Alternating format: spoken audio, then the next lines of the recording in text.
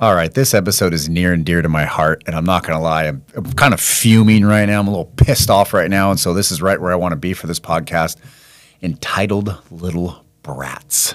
That's what we're going to be talking about today entitled Little Brats. And what I mean by that is all the workforce talent that's coming up right now that we can't stand. And if you are under the age of 30, I am talking about you. And I pray and if you're listening to this podcast, you're already trying to get better, so it's probably not you. But I do pray that you are taking steps to make yourself better and fit into the workplace because, man, this generation that's coming up are so entitled, it's killing me. Why do I say that? It's very simple. I ran an ad for a guy in the shop. The ad got three hits over a week. F- rewind 10 years ago, I would have gotten 20, 25 hits. It would have taken me a day, day and a half to do all the interviews. Said I got three. You know how many people showed up for the interview? One. Two people actually called me, had a conversation with me. They made it past stage one. They moved to stage two, which is I want to meet them in person, and they set up a time and they no showed. How many people right now have you had a no show on? How many people have no showed on you? How many people just said, nah, we're not going to do this. We don't care. We're not going to fill up? That blows my mind. I don't know where they were trained. I don't know where they were taught. I don't know what the parents are doing these days. But how can you, even in your conscience, not show up for an interview that you set up? Where you're actually going there and saying, hey, if I show up and do this job, you will pay me money. You will give me dead presidents if I just show up. And even then, they're like, nah, I don't want it. That blows my mind. So, I want to talk about what we're doing to combat the lack of talent in the workplace. That's what I want to talk about on this podcast. This is podcast number three. I have so many stories I can't even begin to tell you. And they're not just everyone's stories. I, I got them in my own four walls. Here's a perfect example inside my own four walls. So I have four kids. My oldest son just turned 16. We turned 16 about six, seven, or seven months ago. I don't know about you guys, but when I was younger, I was drooling to get my driver's license. At 15 and a half, I had already got my permit. I was begging my parents to drive. My parents had a 1982 beige Volvo. Uh, yeah, you know, we were super sporty. Uh, just a beige Volvo, a square box, and I couldn't wait to drive that thing, a little inline four cylinder. And we drove all over town, and everyone like, "Can I drive? Can I drive? Can we go to the store? Can I drive? Can I drive?" And it was all I wanted to do was drive. I made an appointment on my birthday the day I turned 16 to get a driver's license and go take my test so I could actually drive. I was drooling for this. My son, 15 and a half. Hey, when do you want to go get your permit? Oh, no. Well, you're going to be turning 16 soon. So? Well, don't you want to get a driver's license? Eh. Could care less. And he's not alone. He's not alone out there. All this generation coming up. We go to the high school to pick up the kids and there's no student parking lot. It doesn't even exist. There's like 20 cars. We had over 300 cars when I graduated high school of the student parking lot. We had to fight for the dirt spots in the back when you first got your license as a sophomore. And now 30 cars tops for the entire school for students. What is happening? The lack of drive is what's happening, and it's blowing my mind. I don't even understand. I don't get it. But as all great owners, we're going to need to adapt. But I don't even want to talk about adapting right now. I don't want to bring the solution to the table. I still got a vet here because this so much is just pissing me off. Personal days. I had a I had a new employee like four months ago go, well, how many personal days do I get? And I'm like, well, they're called vacation and they accrue after a year. He goes, yeah, the vacation's fine before we go on long trips, but how many personal days do I get? I said, that's the same as a vacation. He goes, well, you know, if like there's snow on the mountains and we want to go snowboarding, I can just call you up in that morning and say I'm taking a personal day. How many of those do I get? I literally had to stop him, stare at him, and say, that's called PTO or paid time off, and it's the same as vacation. The words are interchangeable, and you don't get separate buckets for those. And he still just looked at me like he was in shock, like, why don't I get personal days? I don't understand it. And then I asked him, I said, on these personal days, am I paying you for those days? And he goes, well, yeah, it's like a personal development day. And I couldn't help myself. I had to go down the rabbit hole. I said, okay, what am I getting out of you snowboarding? And he goes, well, I'm happy. And I said, Well, I'm not happy. And I said, Can you tell me why I'm not happy in this situation? And he, he literally looked at me and goes, Oh, no. And he said, I don't know, just like my son says, I don't know. And if you're a father, you know that your blood pressure just raises like 10 octaves, like right off the bat. You're like, Oh, I'm going to strangle your little neck. And I had, of course, you know, it's not my son. It's at the workplace. I got to keep composure. And I say, well, I'm losing money and you're not producing anything from me. So therefore, this isn't a good deal to me. So no, you don't have any personal days. And then he had the audacity to go, well, is something you can think about in the future that maybe we can get him next year? And I said, tell you what, why don't you work really, really hard and I'll reward you with an incentive.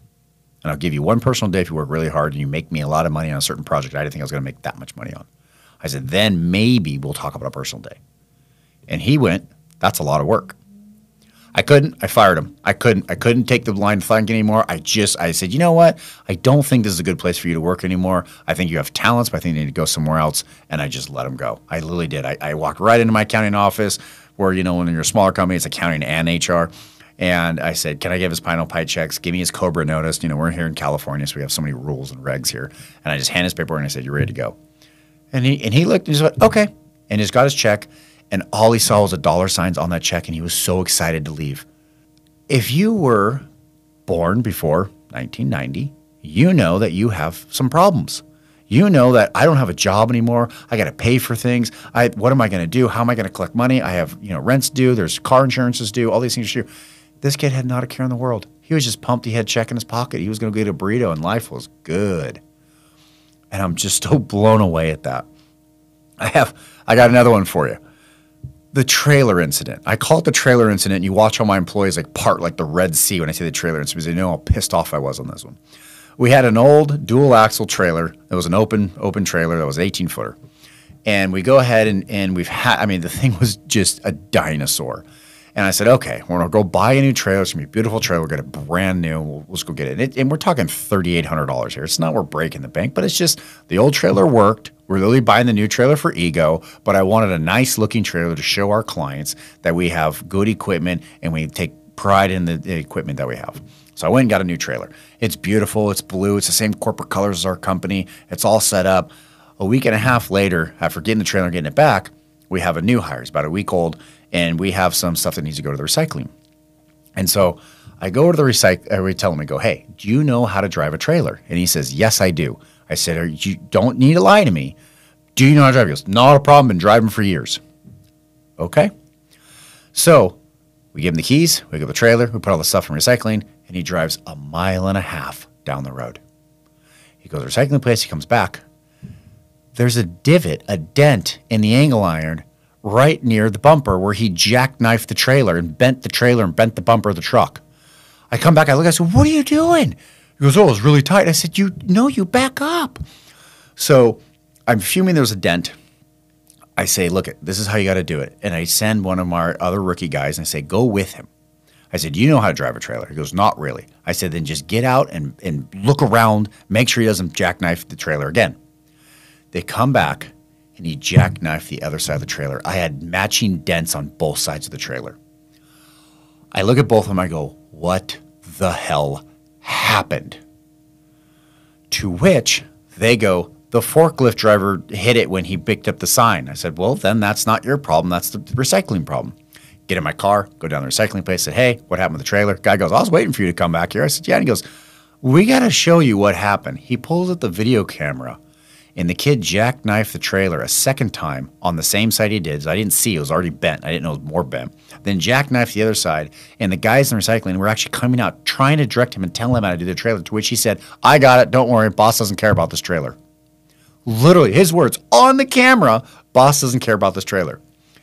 So I come back. Not only did they make me look like an idiot, made me look like a liar, but they lied just because they felt like it. Did he get canned that day? 100% he did. I think it was my worst firing ever. I literally looked him in the face and said, You're fucking fired. And I just gave him his check. I think I threw it at him. I was so pissed. Not my finest moment as an owner, but Jiminy Christmas. Destroyed my trailer, dents all over it. The paint's chipping now, and it's a week and a half old because the kid lied. We're talking about integrity. We're talking about talent in the workforce. Where is it? Well, I'm going to tell you that there are diamonds in the rough, and as owners, we do need to adapt. I hate to say it, but we do have some dinosaur tendencies that we are bringing back in the workplace as the new people are coming around. Number one, the whole entire company works from seven to three. I hate to tell you this, but that's kind of an archaic model now. Your whole team doesn't need to be there at 7 a.m., work, and then leave at 3 p.m. Or whatever lunches are, maybe 4 p.m. if you're actually doing math here, you're listening to me. But what it is, is flexible schedule is not a bad thing. Some can start at 7, some can start at 6, some can start at 8. If they get their job done and it's not pertinent to the actual project to be there at a certain time, a flexible schedule is going to get you that bigger talent pool. The smart people that are out there, and I know they're far and few between, but the smart people that are out there, they're going to be looking for those little incentives that are non monetary. As much as I hate to say this, the American dream is somewhat dead. The new generation that's coming up doesn't have the white picket fence and the, and the, the beautiful family and the 2.5 kids. They don't want that. They're just trying to live and have fun and experience the moment. You know, everybody's trying to be a social media star these days because they think that's where all the money's from. They don't know it's fake money, you know, all that fun stuff that goes with it but they're not really applying themselves for the most part. But the few, the diamonds in the rough, are. And they're looking for non monetary intangibles that they can go, this is awesome. I get this.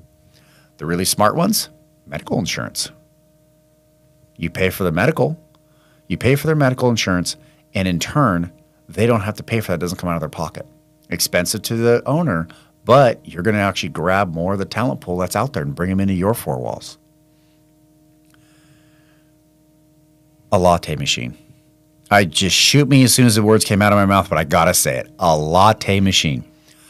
I walked into a property management company, and the property manager guy that's been there forever, I mean, he was close to retirement. He goes, Aaron, I said, what? He goes, You're not gonna believe this shit. I said, What? And he goes, We put a latte machine in the break room. I said, Does anybody even know how to use it? He goes, Yeah, all the younger generation does. Us old geezers, we don't have a freaking clue. He goes, But the younger generation does. And he goes, And they love it. And we actually hired two really good property managers because we have a latte machine. I said, You got to be kidding me. He goes, Aaron, I don't know what the world's coming to, but that's what got him. We flat out walked him around the place and they saw the latte machine and they took the job. So, am I telling you to get a latte machine? Maybe. Maybe that's a trick that you're going to get to get that better talent pool that's out there. Another way to adapt change your interview questions. Change your interview questions. I only ask two questions in an interview. I take that back three. I take I, I do three, and I'm going to tell them to you right now. Question number one, and it's a long word problem, and I give it to him printed on a piece of paper, and I'm not going to read the whole thing to you right now, but it's basically four guys come to a bridge and it's dark at night. Only two guys can cross at once with a flashlight. You got to get all three guys or all four guys over inside of 17 minutes. One guy's 10, one guy's uh, five, one guy's two, and one guy's one. How can they get over in 17 minutes? There's no tricks to this. There's no, you throw the flashlight, one carries another. There's no tricks. It is straightforward as it comes. There's not one trick to this. I've been asking this question for 10 years, and nobody has ever gotten it right. So you're asking yourself, hey, Aaron, why are you asking this question if no one gets it right? Because I don't care about the answer. So when you go in an interview, I'm going to I'm going to teach you something right now. You're going to like this. Listen up real closely on this one. People put on their best face when they go to an interview. They smile at everything, even though they may never smile another day in their lives. They say yes and they agree with you. They laugh and joke with you. They are on their best behavior. It's almost like they're trying to date you. And as soon as you hire them, you start to see the real person. So you got to hone your interview skills in such a way that you can see who the real person is. So I'm going to teach you right now. If you ask that question with an impossible answer, what you're looking for is how do they sweat? How do they handle stress? How do they handle something when the person that's judging them is watching them and they're not getting it right? That right there is the whole reason why I asked that question. And I love it because you can never, ever fake it. You can't fake it. You can't dial that in. You are just going to be who you are as a person. So imagine this they give you a word problem. You feel like you're in fourth grade. They give you a pen and you read this word problem, you start filling it out, and they're just staring at you and they're just staring at you, just just giving you those dagger eyes, saying, "Why isn't it done yet?" And you can't get it done, and you can just you just feel the anxiety, the hairs on the back of your neck stand up, and you just you, you know your stomach turns a little bit, and you're like, "Oh God, what am I gonna do? I gotta," and all of a sudden, out of nowhere, how you handle stress is gonna pop out, and you can't even hide it. No kidding, I'm not joking. I literally had one guy flat out look at me and go, "You know, I got really high last night, so I, I don't think my brain's working right now." Well, we have a drug test, sir, so there's the door. I literally had one guy admit that. I had another guy take the piece of paper and shove it right back at me after 30 seconds. Yeah, I don't do word problems. To cover up his insecurity, he bolstered up and threw it back at me like, I'm too good for this. Well, what if you give him a very stressful project a week from now? What's he going to do? Tell you I can't do it and throw it back at you? Now he's a worthless employee because you're doing all the work that you wanted him to do. So that guy's not any good. My favorite employees, the ones that I've hired and are still with me to this day, are the employees that look at that problem. After five or six minutes, I can see how they handle stress. And I say, move on to question two. And you know what they do? They go, I'm not done with question one. May I have more time?